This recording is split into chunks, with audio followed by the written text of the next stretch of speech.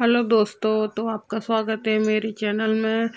तो मैं अच्छी हूँ और आशा करती हूँ आप भी अच्छे होंगे और इस मतलब वायरस के माहौल में अपने आप को सुरक्षित रख रहे होंगे।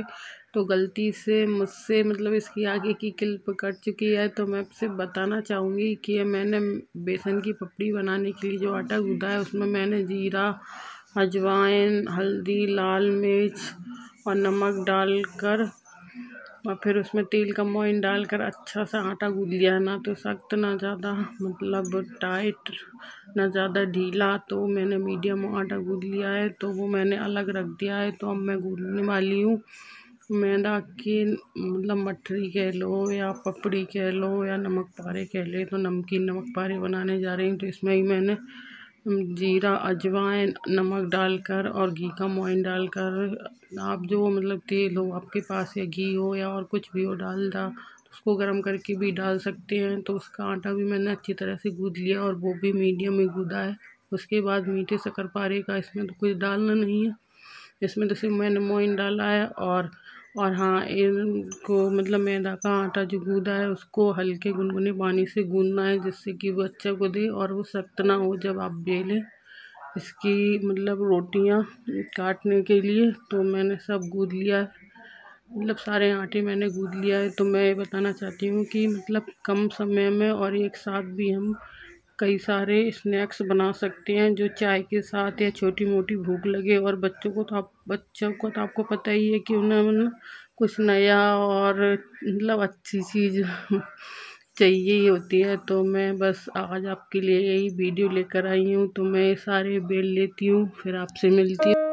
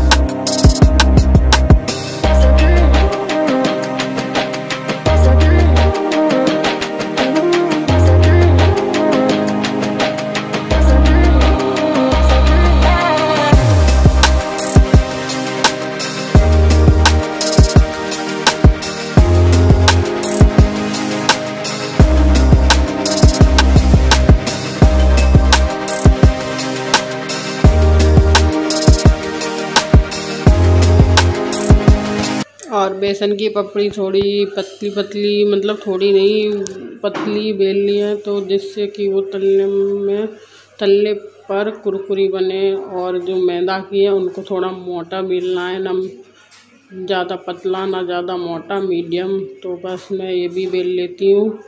और फिर मैं मतलब बाकी जो फैला हुआ है, वो समेट के रखूँगी। तो ये देखिए सारे मैंने बेल लिए हैं और कट भी चुके हैं। तो एक दो जो पूरी बची हुई हैं, वो मेरे हस्बैंड काट रहे हैं। तो बस जब तक मैं जो फैला हुआ है, वो रख दूँगी उठा के। तो फिर मैं इसको तलूँगी और गैस पे मैं कढ़ाई भी रखाऊँगी कि जब तक तेल गर्म होगा, तब तक ये भी हो जाएगा। तो चलिए फिर मैं मिलती हूँ आपसे तलने के टाइम पर।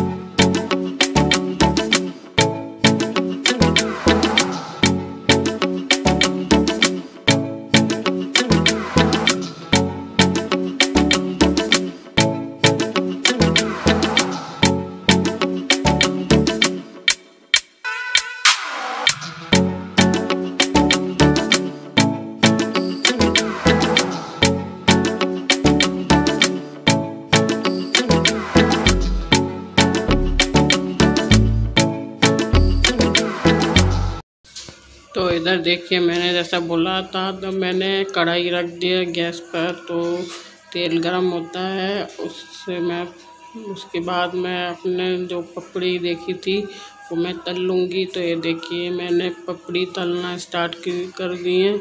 और मैं अभी ये बेसन की पपड़ी तल रही हूँ और इनको गरम मतलब फुल फ्लेम पे ही सेकना है, नहीं तो ये फिर अगर आप मतलब लो फ्लेम पे सेकेंगे तो ये कुरकुरी नहीं बनेंगी। तो इसलिए मैं इसको फुल फ्लेम पे ही सेक रही हूँ, जैसे कि आपको दिख रही है। तो देखिए, मैं बेसन की पपड़ी सेक लूँगी। तो मैंने बेसन की सारी पपड़ी सेक ली हैं और मैं अब सेक रही हूँ मैदा की। पर इनको अब फुल फ्लेम पर नहीं सेकूँगी, इनको लो मीडियम फ्लेम पर सेकूँगी, क्योंकि इसको फ्लेम फुल फ्लेम पे सेकूँगी तो ये मतलब अच्छी तरह से सेकेंगी भी नहीं, अंदर से कच्ची रह जाएँगी और सेकने के बाद खस्ता भी नहीं बनेंगे, कुरकुरी जैसी चाहिए। तो इनको बस यही याद रखना है कि बेसन की पपड़ी में फुल फ्लेम पर सेकना है और मैदा की पपड़ी में उसको लो फ्लेम पर सेकना है। तो ये देखिए मैं इनको भी निकाल लेती हूँ। इसके बाद मैं जो मतलब मीठे शक्कर पारे मैदा के बनाने हैं, उनको तलूँगी। तो उसके लिए मैंने चाशनी भी बनने के लिए रख दिया है, जो उस तरफ़ उस कढ़ाई में रखी हुई है।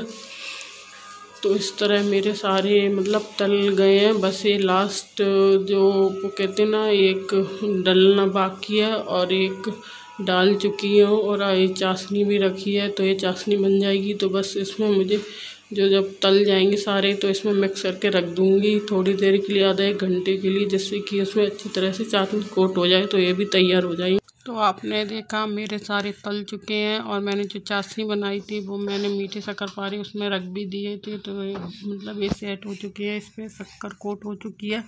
अगर आपको फुल डिटेल चाहिए कि मैंने कैसे कैसे किया एक एक स्टेप तो मुझे कमेंट करना। तो अगर आपको ऐसी नई नई वीडियो चाहिए तो मेरे चैनल को सब्सक्राइब करें। तो मैं मिलूँगा अपने नेक्स्ट व्लॉग में, तब तक के लिए आप खुश रहें, स्वस्थ रहें। बाय